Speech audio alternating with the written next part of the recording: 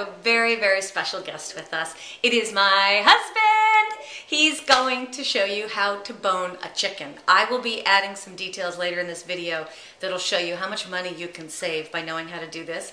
It does not take long. He'll probably go a little slower than usual so that you can see the steps along the way. And I will try to break it down in writing so that when you see this video, you'll know how to buy a whole chicken and break it down yourself. Here we go. There he is. Hi there. Here you have a whole chicken. Yep, from Misty Knoll Farm. Great local place. Very important to take it out of the package. Convenient trash can right underneath cutting board. So then you take the neck and the gizzards out.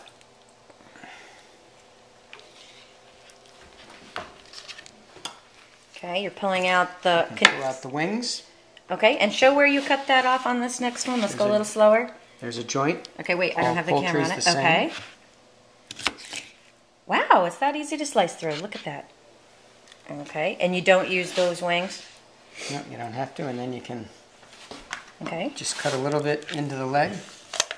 You break this joint backwards. Okay. You don't even have to use a knife. You could just pull. And that's the One whole leg. leg. Okay. So show me again where you just make an incision. You break that out of the socket, And you just did that by, um, reversing Pushing it out? the joint. Yep. pushing okay, so you don't have to cut through it or anything. You Nope. just, And if you want to use a knife, if you don't feel good about tearing it, just run it right along the body, as close as you can to the carcass. wow. There's a second leg. If you want to use the thigh, Okay, wait, where are you here? there's also a joint right in here. Hold on. You're going a little too fast for my camera to keep up with you. I told you guys this was easy. Okay. And just go right in between that joint, and have a drumstick and a thigh. Okay, show this one again. The Where joint, you can feel it as it moves. Okay. It's right there. Very cool. Two drumsticks, two thighs.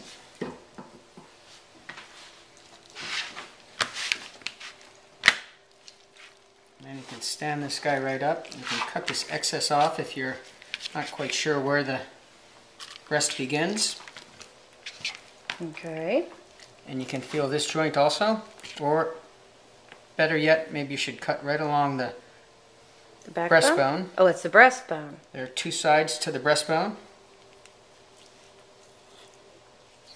And the wishbone's right here. And you want Okay. to go make sure the camera's seeing to the outside of the wishbone. I wonder if I and should stand get. that up. Should I get over where you are to get and a you better can view? see the joint right there. Okay. Just cut through it. And again, you can get a good grip. You can just rip it right off. Okay. And the same thing on this side. And the wishbone on this was broken, so you just have to find it, which is these two pieces right there. Right.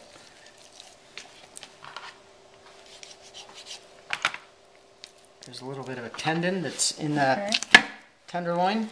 You want to cut through that. Right at that joint. Follow right along the carcass and pull it right off. Another. Now, what is that? That would be a Statler breast or an airline breast that comes with the bone on. If you want to take that off and use it for chicken wings, you can do that too. Okay, And great. You have a boneless breast. If you want to skin it, you just pull the skin off. You can take this excess off, which you can throw in a stock pot.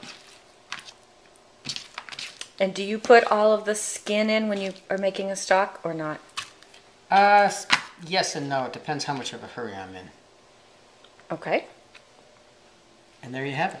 Great. And now what you do with that is throw it in a pot of water to make stock, correct? And this you can throw in a pot of water along with the neck and the giblets.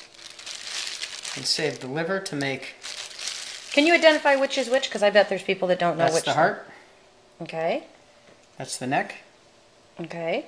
And that's the liver, Okay. which you can eat. You can make a liver mousse. You can feed it to your dog, your cat.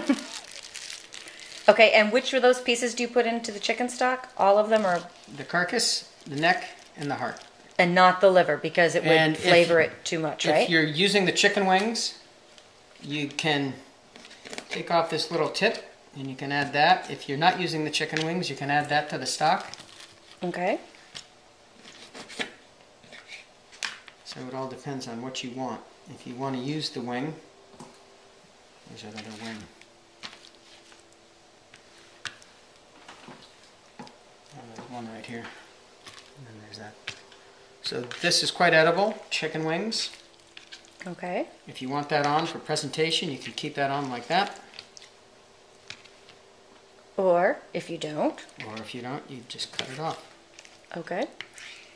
So we've got our pile over here for the chicken stock we're going to make. The breast can go over there. Or if you're making wings for a party, you can use Okay. all that right there. for a Super Bowl. Go through a lot of chickens. okay.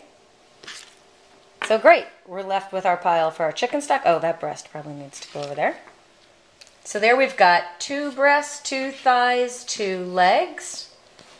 Here we've got all of the parts to make a yummy chicken stock, plus the liver, which we're going to give to our dog.